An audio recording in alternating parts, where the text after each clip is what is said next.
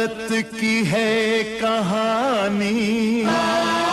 सदियों से भी पुरानी।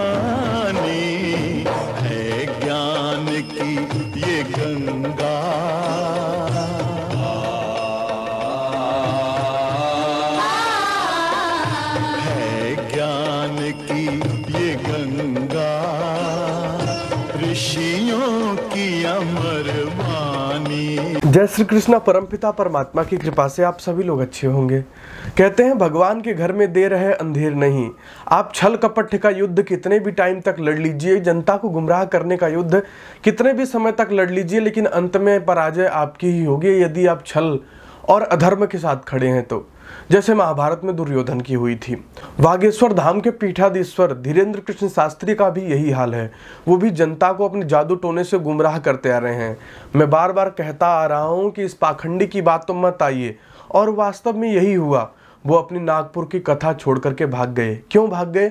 क्योंकि वहाँ अंधश्रद्धा निर्मूलन समिति ने ये कहा कि हम बाबा जी की शक्ति का परीक्षण करना चाहते हैं। और बाबा जी को तीस लाख रुपए भी देंगे। यदि शक्ति सही निकली तो हम उसका सम्मान करेंगे और उन्हें तीस लाख रुपए भी देंगे। नहीं तो हम उसका, उसकी जाँच करेंगे। जैसे ही पढ़ा लिखा वर्ग उनके मध्य आया, वो भाग, वहाँ से भाग खड़े हुए और कथा को रद्द कर दिया। वहाँ के कार्यक्रमों, आगे आने वाले कार्यक्रमों को रद्द कर दिया और फिर अपने पचास प्रकार के बहाने बना रहे हैं। पहले भी मैं इन पे कई वीडियोस बना चुका हूँ। जो समझदार हैं, वो अच्छे से जानते हैं। मैं कहता हूँ कि वहाँ पे जाकर के बाबा ने क्यों उनके प्रश्नों का उत्तर नहीं दिया? क्यों वहाँ से भाग खड़े हो गए? क्या केवल जो शोषित, पीड़ित और गरीब असहाय हैं, केवल बाबा उन्हीं का भविष्य बता सकते हैं? जिन्हें बात करना तक नहीं आता, जिन्हें बोलना नहीं आता, जिन्हें सोचना, समझना नहीं आता, क्या उन्हीं का भविष्य बता सकते हैं? क्यों नहीं वहाँ पे रुक करके जो शिक्षित वर्ग है, वो तो खुली चुनौती कर रहे हैं कि बाबा आए हमारे सामने और हमारे प्रश्नों का उत्तर दें। वहाँ बाबा की बोलती क्यों नहीं निकली? वहाँ क्यों भाग गए वो? और मैं कहता हूँ, यदि इतने ही जानकार हैं, यदि उनके ज्ञान का स्तर इतना ही अच्छा है तो वो क्यों नहीं बताते कि आपके ऊपर ये सैनिक और ये यहाँ इन सैनिकों पे हमला होने वाला है, ये हमारे सैनिक मारे जाएँगे, यहाँ से सैनिक हटा लो, यहाँ सुरक्षा ज़्यादा बढ़ा दो हाँ आतंकी यहाँ से हमला करेंगे। इन चीज़ों की जानकारी आपके बाबा जी क्यों नहीं देते हैं? क्या केवल बाबा पे यही जानकारी है कि तुम, तुम्हारे पे प्रेत है, तुम्हारे पे भूत है? वही ऐसे लोग जो बेचारे रोटियों के लिए तरस रहे हैं, जिन पे दाना नहीं है, जो किडनी से, लीवर से ब्लड प्रेशर, हर तरह की समस्याओं से जूझ रहे हैं। क्या केवल बाबा उन्हीं का भविष्य बता सकते हैं? क्या केवल वही उनके चमत्कार दिखाई देते हैं?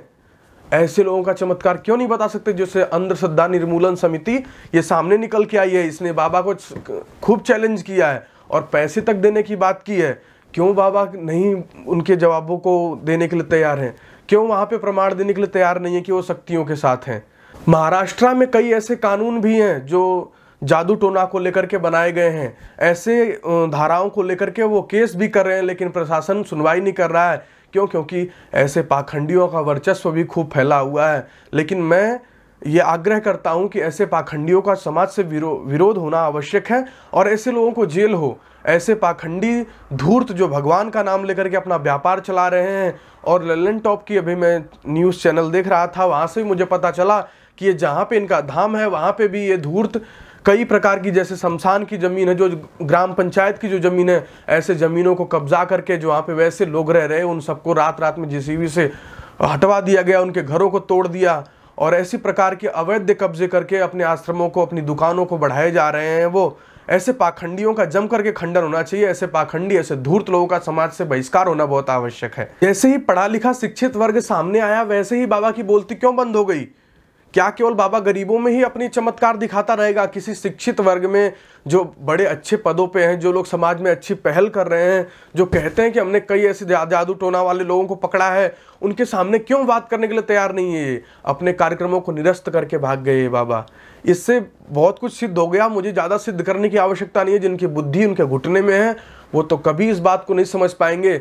लेकिन जो तार्किक लोग हैं, जो समझदार लोग हैं, वो बिल्कुल अच्छे से जानते हैं कि भगवान के अलावा दूसरी कोई ऐसी चमत्कारिक सत्ता नहीं है जो दुनिया में चमत्कार फैलाएगी, क्योंकि यहाँ इस देश में अनेक अनेक ऋषि मुनि हुए, इस देश में अनेक विद्वान हुए बड़े बड़े स्वामी विवेकानंद, महर्षि दयानंद, स्वामी श्रद्धानंद और भी ऐसे अनेक प्रकार के महापुरुष हुए।